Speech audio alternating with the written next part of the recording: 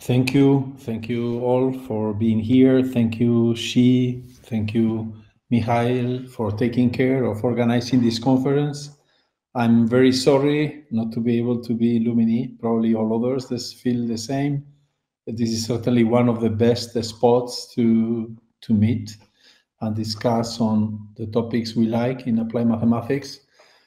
But uh, let's do it that way. So today I'm presenting you a joint work, uh, mainly developed in collaboration with our former postdoc, Dongnam Ko. Dongnam is now uh, at the University, Catholic University of Korea.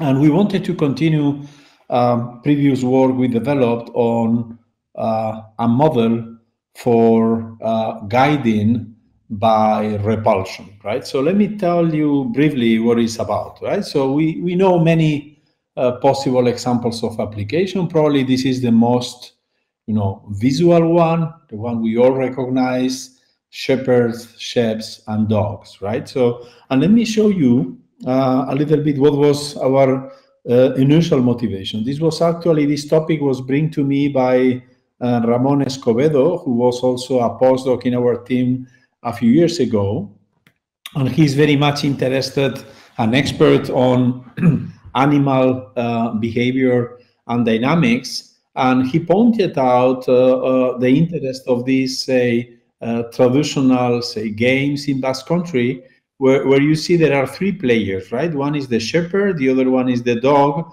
and the other one are the sheep that are, you know, like in a in a in a very compact flock, right? Uh, behaving as a, as a very big kind of uh, you know uh, elephant that is moving you know pushed by by the repulsion that uh, the dog produces. And this is done in a smart manner because the dog is obeying the orders of the shepherd. Let, let me show you how it works. So you see that the, the shepherd indicates to the dog basically go left go right and most often it says to the dog "gel dior." In Basque, it means stop, right? So why stop is because if the dog was led to behave purely according to its uh, instinct, it will approach the ships too fast, and then the ships will go away, right? And once the flock is dispersed, you know, the competition will be lost. So basically, the game consists on bringing this flock of ships, flock of ships into that gate you see uphill, right? And to do it in a minimal time and following a more or less uh, straight trajectory, right? So this is an optimization problem in which the shepherd has to, you know, minimize uh, two criteria optimization problem in which one of the criteria is certainly time and the second one is the you know how smooth, how regular, how homogeneous, straight the trajectory of the flock is, right? But as I said, probably the most, uh, the biggest danger is that uh, you know there is some dispersion that is produced in the flock. As soon as one sheep will escape, it will be very hard to for the dog to bring it back, right, to the flock and succeed the exercise. This is why one of the main tasks of the of the shepherd is to keep the dog calm, right? Not to frighten, you know, the the, the flock of sheep, right? And you see, in this case, it was quite uh, successful. So now, when you think on this from a mathematical perspective, you see, well, this is typically a control problem, right? The the shepherd is acting as a control, right? And the dog is is just an actuator right? So the dog is following the orders of the shepherd. If we assume that this is 100% the case you could think on you know the shepherd having full control on the system the dog is the actuator right? And the shepherds i mean the sheep you know the flock of sheep the union of all these individuals right? They they will react to the actions of the control or the actuator, right? Both simultaneously. Okay, so we have uh, in, in previous papers with Ramon Escobedo and Aitziber Ibanez back in 2016, we discussed the model in which you have one driver and one evader, right? And so the driver, you know, is the dog, the evader is the sheep, And then you have to write a Hamiltonian, I mean, a kind of Newtonian dynamical system in which you say, well, both the dog and the sheep have, you know, are occupying a point in the two-dimensional Euclidean space, you know, they are being accelerated by the forces entering into the system, and the forces are asymmetric because while the dog likes to be close to the sheep, the sheep want to get away from the dog, right? Okay, then in uh, in a in a next paper with Dongnam Ko, we consider the case in which there is only one dog, but there are multiple ships, right? So then uh, again, uh, you know, the interaction is asymmetric. You have now to take into account the fact that ships like to go to be together, right? They interact each other, but these are interaction forces that uh, you know push them to be, say, together to flock in, right? While again the dog is interacting with this flock, you could think that you know the dog is interacting, for instance, with the center of gravity of the flock in a in a, a non-symmetric manner because when the dog approaches the sheep, the sheep go away and so on. Okay, and then uh, the game in this uh, say uh, more recent paper that will appear in in M3AS, right, uh, was how do we model, as we have seen in the previous slide, right, when you are herding a you know a flock of say uh, 1,000 sheep, you cannot do it by just one shepherd and one dog. You need several shepherds and several dogs. This is like uh, controlling traffic. You need you need several policemen sitting in different corners and intersections to be able to regulate the traffic in a big, you know, when, when it is massive, right? So here, the problem we had was how do we do to model that several dogs have to share the task, have to coordinate tasks so that they are able to drive, to guide such a big, you know, flock of ships, right? Um, are they smart? Do they communicate to each other? How do they divide the task? How out of this big flock, each dog is maybe taking care of part of the of the flock, and, and the other one is uh, is doing it. But how, how do they switch their task when while moving? Right, the flock is kind of a fluid, right? That is the shape is moving uh, how, how do they say uh, adapt their strategies to this very rapidly evolving scenario? That was our goal, right? Okay, so before that, this was done in our paper with Ramon Escobedo and Aitziber Ibanez. I show you how you can reproduce mathematically what we have seen in the previous video, right?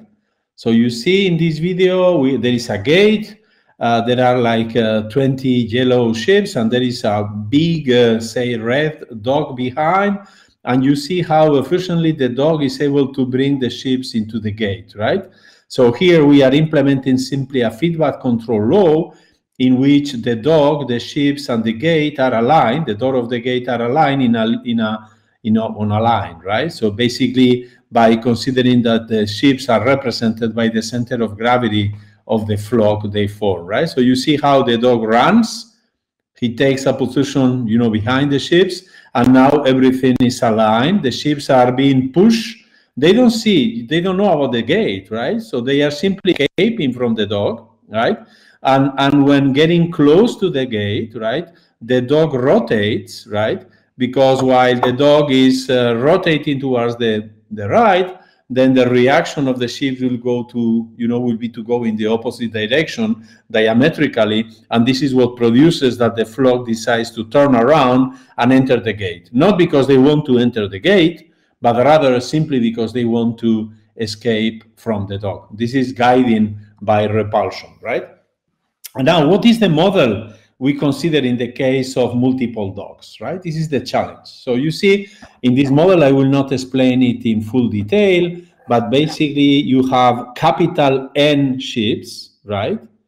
Uh, the index is I from 1 to capital N. So think, you know, the number of ships, maybe 30, 100, 1000, okay? Now you describe the Newtonian motion of these ships that here we take them all to be of the same mass, right? So they are all identical. Of course, in practice, this is not really the case, but we made it, you know, simpler like this so that we can more easily apply the random batch and model predictive uh, methods, okay? So now you see we write x uh, i prime, the velocity vi, the velocity vi is accelerated. Here you take into account the interactions of the ships, uh, you know, together. Each ship is interacting with the others. And also you see in the last line, you see how the yj position of the dog is also influencing in a repulsive manner the motion of the ships. So you see we have n identical ships, you know, interacting each other to be together, to be close, but trying to escape, you know, the location of the dog. And now we go to the to the last uh, to the to the end of the system where you know you have this red arrow. You see yj J, yj is now the position on the plane of the jth dog right? And we have capital m dogs so typically you know, M is the number of dogs, the number of guiders, right? Is much smaller than the number of evaders, the number of ships, right? So you can have, say, M equal four, four dogs for, say, 1,000 ships, N equal 1,000, N equal four, right? And so here, you see what we did was to say, well, uh, listen, uh, it will be very hard to coordinate a priori the action of the M dogs, right? So how do we how do we model the way dogs, you know, are able to organize themselves to share the task of guiding this uh, big flock? Uh, this is not so clear, right? So are, are actually able dogs to coordinate themselves?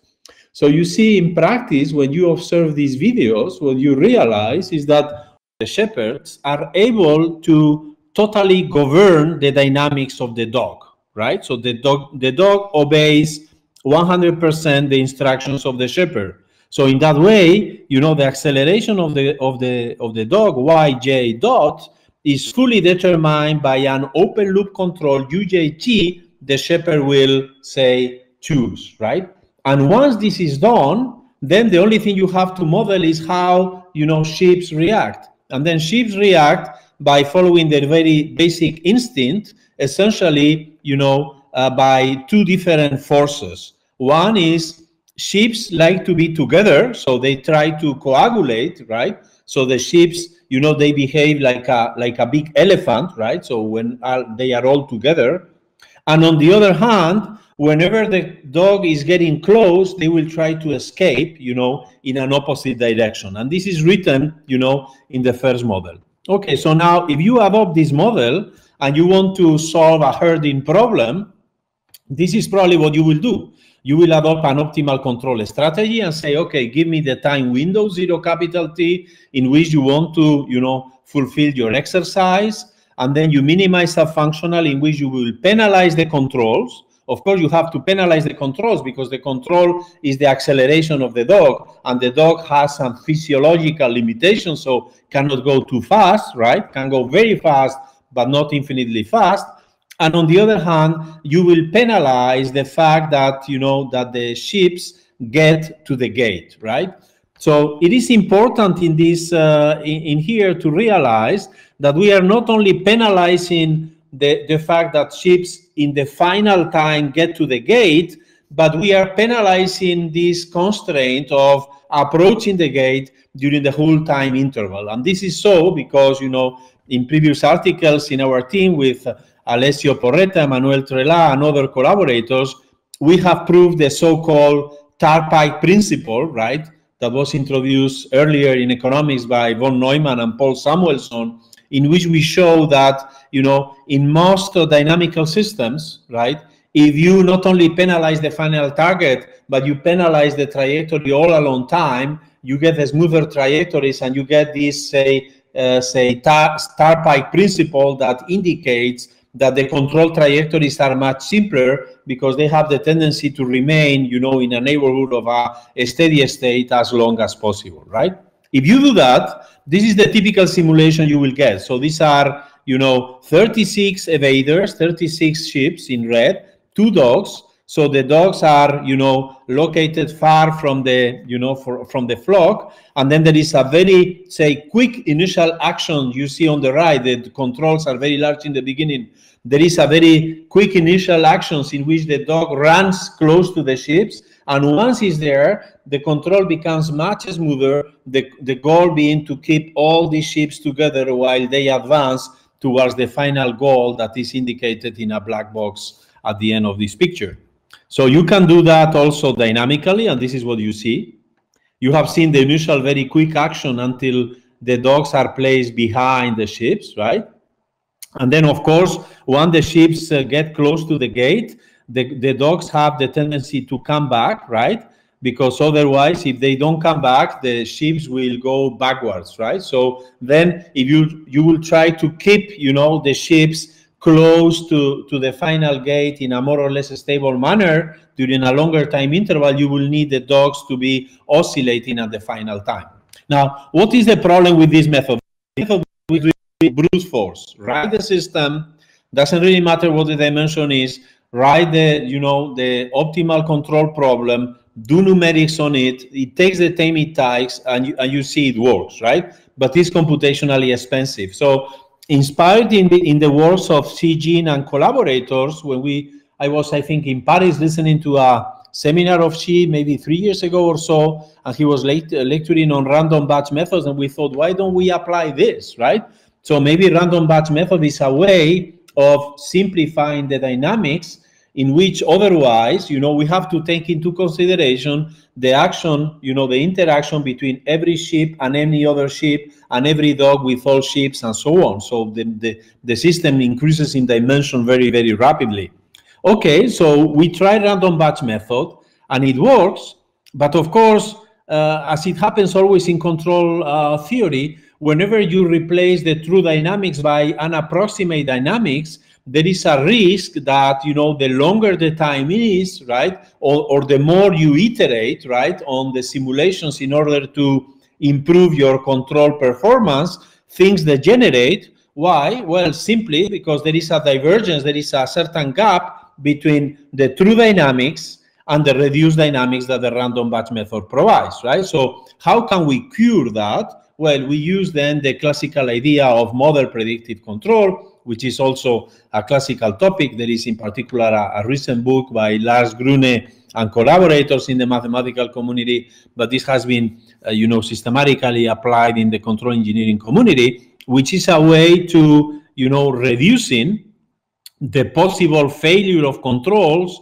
because of the fact that intrinsically, and, and, this is always true, the mathematical model will never be able to mimic the true dynamics of nature in a perfect manner, or even when it does, right, there could be, say, unexpected stochastic uh, random perturbations of the system that could make your initial, say, uh, computation of the control, you know, um, uh, non-valid anymore, right? This is what happens when you plan a long trip. You have your map, you have decided what the road is, and then as soon as you are on the road, suddenly one of the you know highways is closed, and you have to change your control strategy, right? This is what model predictive control does.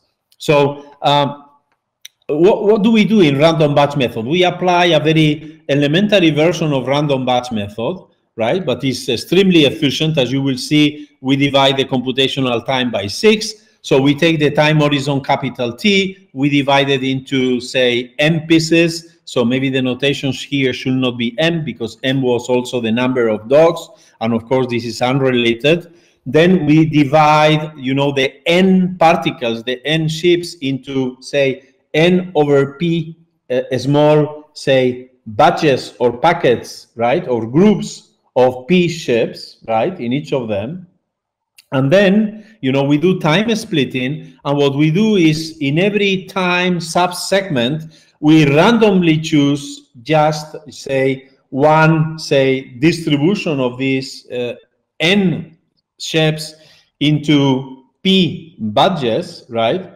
uh, or or uh, or groups, right? So that every ship will only interact with the, those that are in a neighborhood of itself, right? So as you see from a mathematical modeling perspective, this makes very much sense, right? Because when you are in a big crowd, I mean, when you are in a stadium, you know, surrounded by 50,000 people, and then people are going out, and then you are walking. Uh, I mean, of course, you are your actions. I mean, your your motion is is determined by the interaction with the neighboring people, right? But maybe it's not with the whole crowd, right? You are not interacting with 50,000 people. You are just interacting with with a close neighborhood. But maybe you don't even know uh, with which people you are really interacting. So it makes fully fully sense, right? Not to really consider the original dynamical system I have given you, in which all shapes are interacting with all each others, as being the true dynamics, but rather consider that a random batch dynamic can, you know, be as close as, you know, the original one to the actual dynamics of the system. So, of course, when you when you do the the forward simulations, you see that this provides, and this is proved in, in the papers by Shi Jin and, and, and collaborators, it, it provides in expectation a good approximation of the dynamics. Of course, you see also some some small divergence, right, on, on the mean trajectory and the actual trajectory in blue and in red. Right? This is unavoidable. There is some error. This error only goes to zero as the square root of m, the number of intervals, right? uh, when when you use the law of, of, of large numbers, right? Um, but of course, when you are doing control, you have to stick to a given partition, right? And therefore, this error is likely to be small, but still to be there, right? So what do we do then? We apply this idea of model predictive control, which roughly, as described in this in this drawing taken from the Wikipedia, says okay, so this is like when launching a, a, shuttle from Earth to the moon, you will compute offline a control, right? And then you will implement it, but the, but the trip is quite long, right? So you will not implement it from the beginning uh, to the end, but after every few hours, you will recompute the position of the satellite, which probably is not exactly the one you expected according to your offline computations using the Pontryagin maximum principle, and then you will recompute the control. So this is a kind of a semi-feedback strategy in which you compute the control for a long time, you apply it in a short time, then you reconvene, you check where you stand, right? You probably uh, correct the control according to the errors you have observed. You compute the control again, you apply it again for a short interval, and you repeat again and again, right? So when we do this, you see already on this drawing to the left here, how the trajectory of the dogs in the end is a bit more complicated. So why is that? Well, it's because you see the trajectory of the control, the blue dogs, the, the, the evolution of the blue dogs during the, the last uh, segment of the time subinterval, they are oscillating. Why? Because they are already mimicking the initial arc of the next control that will allow, you know, to control the system for a longer time. This is why the dogs are coming back again, so to gather the ships, to get them longer time around the, the target equilibrium. Uh, of course, if there are some kind of noise, so for instance, uh, I mean, this is like Roland Garros, right? So when tennis players are, are playing the final and people need to be silent, the same happen when when uh, this shepherd competitions arise, right? Because if there was, for instance, an, an small explosion, right, uh, then the ships will be frightened and then they will escape the crowd and it will be impossible to run the exercise uh, with uh, reliable conditions for all players, right? So you see that in this simulation. If you simply use the classical open loop control, as soon as you will put some kind of direct uh, noise uh, unexpected suddenly, you know, the ships will start escaping. But if you use, if you use the model predictive control, you will be able, because you are recomputing the control again and again, to take into account this possible unexpected noise, and therefore you will be allowed to, you know, correct your control strategy. The, the dogs will have to work further. The strategy and trajectory will be more complex, but you will be able to to control it, right? And this is what you see now when you put uh, here. I think is 1,000 ships uh, and four control, four dogs in action, right? So what I want to emphasize here is that when you adopt this strategy of uh, random batch plus uh, optimal control strategy, you don't need to think on how dogs are sharing their work, how they are coordinating each other. The only thing you have to do is to simply let this semi-feedback control strategy to be implemented, and then somehow what you are seeing here in these blue four blue dogs uh, running after a flock of sheep, what you see here is in some sense the most intelligent strategy that four agents can develop in order to guide the flock of sheep towards the destination, which is here, you know, in this top right corner. Okay. Of course, um, this uh, optimal or more smart control strategy that you see is quite uh, oscillatory and complex, right? Um, is optimal because we have already determined what are the Newtonian equations that are, say, pushing the red sheep to get away from the dogs according to the uh, interaction between the two species, which is very asymmetric, right? So the dog likes to be close to the sheep. Sheep like to be together, but on the other hand, sheep like to be away from the dog. Is this asymmetry that allows uh, this kind of um, simulations and control strategies to be um, successful. So this is what we have done.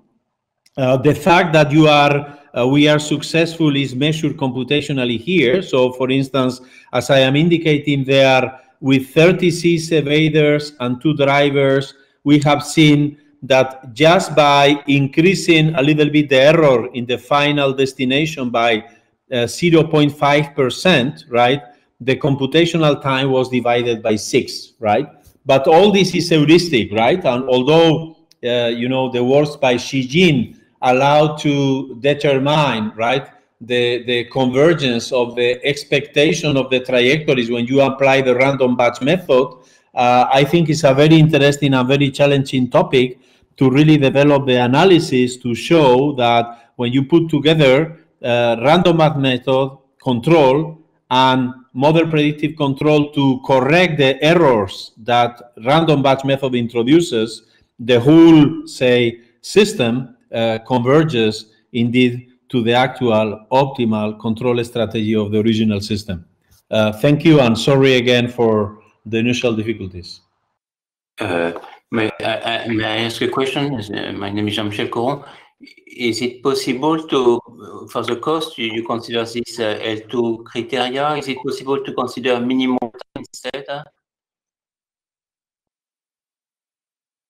Well, this is a good question. Yes, we have done the simulations like this, but uh, well, technically it's always complicated, right, Jean-Michel? So actually what we do for the minimal time control, if I remember well, is to to keep the time as being the control variable and then do a scaling in the ODEs, right?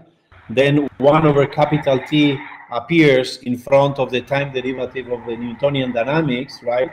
And then you are controlling in this bilinear parameter. So then, yeah, the same kind of simulations can be developed, but the analysis will be even more complicated, right?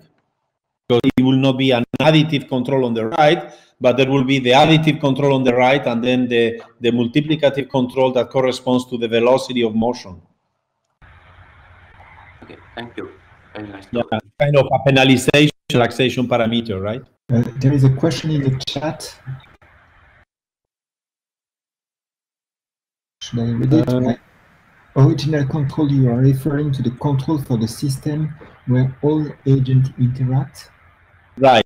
So this is a good point. Yeah. So, um, uh, yeah, this is a, a good question, right? So this is all about modeling, right? So we say, uh, I mean, we could continue the discussion also about, you know, mean fields. Uh, if we assume that the number of shapes is going to infinity and so on, right? So, uh, so here we are assuming, for instance, that all ships are identical, right?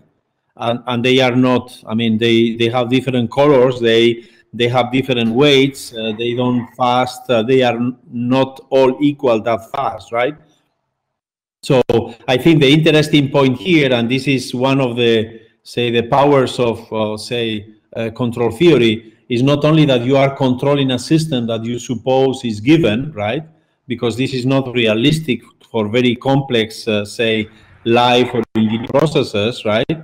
But rather, you also learn about the dynamics of the system. This is related also to reinforcement learning that nowadays is so important in machine learning with applications to recommendation systems and so on, right?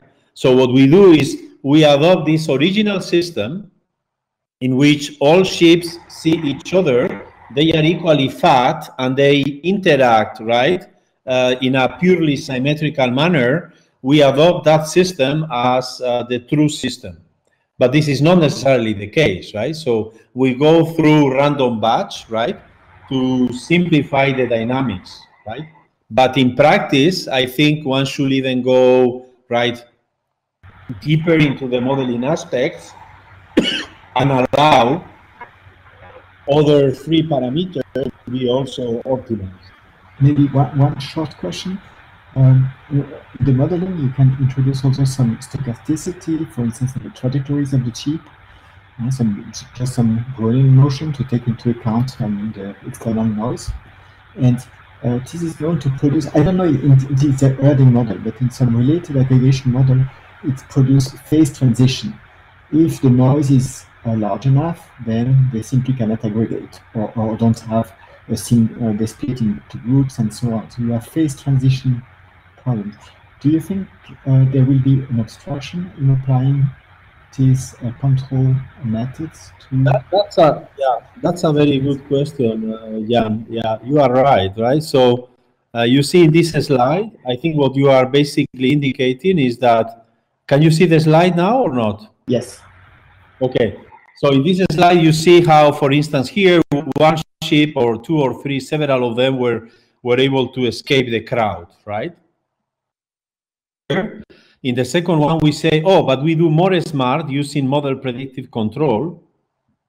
Then the ships will not be able to escape anymore because the dog will be able to react, particularly the one to the right, will be able to react, come back, and then push the ships to go inside the crowd again. But of course, all this depends on parameters, right? So for instance, in here, uh, when I have done this simulation with 1,024 or so uh, ships and four dogs, uh, what I have done in order for this to work is to put that the, the you know the constants in which you know the aggregation forces of the ship interact are very strong, right? So if, if I will take the same system and I will make the, the interacting forces that uh, produce the gathering of ships to be much smaller, right? Then, of course, the system will not behave in such a viscous manner, right? And the dogs will not be able to, you know, control the flock Uh, going back here, if the explosion was singular enough that the ship will escape too fast, there is no way you can control the system because you know the dog. I mean the the, the acceleration, the capacity of running fast or reacting fast of the dog is limited, right? So definitely you are right, Jan. So as as you you put too much stochasticity on the system, the robustness, the, the stability, the efficiency of this uh, control strategy will be lost, right?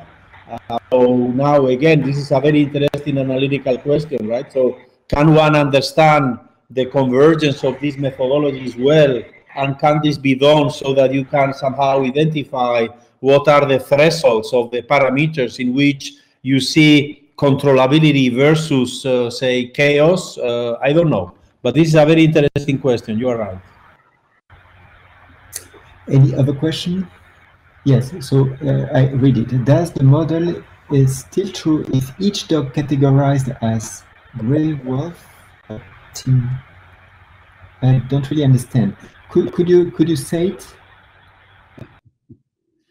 Yeah, so yeah. 0570 and I think I know this, uh, yeah, this uh, scientist, yeah.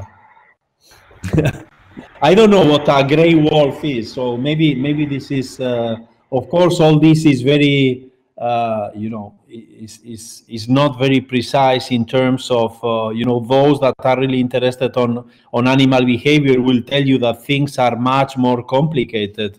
But, but, uh, but what I wanted to emphasize is that uh, in some sense that is true from what we are doing, right? So you see, and these are the discussions about, for instance, science when you see even in the Tour de France, right? So I know there are some professional bikers or semi-professional bikers here, right? So I mean, when when from the helicopter you observe the Tour de France, what do you see? You see a leader in front of the flock that is pulling the flock ahead, right? He's cutting the wind, right? He's getting, you know, has to develop a substantial power to compensate the drag, right? And you see a leader but actually the leader is not the guy who is ahead, right? It's the maillot jaune, which is hidden somehow behind, right? So what I'm trying to say is that very often the kind of interpretations we do of the dynamics that we observe do not necessarily correspond to how the system is actually behaving. In particular, in particular, if you see this, you will think that the dogs are coordinated. You will say, oh, these dogs are so smart. Each dog is able to observe where what the other three is, are doing, and they are able to coordinate if they were part of, a, of an army that has been trained for years, right, to, to address this kind of emergency situations. And it is not the case. Each dog doesn't even know that the other dogs are around the dog is simply obeying the order of a shepherd, right? Of course, if you want uh, this exercise to be fulfilled, you better take four shepherds, right? And each shepherd to take care of one dog, right? Because if one shepherd had to take, uh, you know, call simultaneously of four dogs that have to develop such a complicated patterns, probably, you know, yeah, uh, the, the shepherd will not see. But but I mean I don't know exactly what is the the spirit of the question about the gray wolf, but this reminds me something that is important is that oftentimes what we see is not what is going on. And the analysis of these kind of systems helps also understand this. Uh, the references, uh, this is point, I will say that uh, other than Curran Hilbert, right, there was a paper original in 2006, Escobedo, Ibanez, myself, and then the recent preprint with the Dongnam Ko. And then concerning the, the random batch method, the papers by Shi Jin and model predictive control. This is a very classical topic. You can find it in the Wikipedia, right? Uh, but also there is a, a nice, uh, relatively recent book by Lars Grüne. Okay, I will say these are the main references.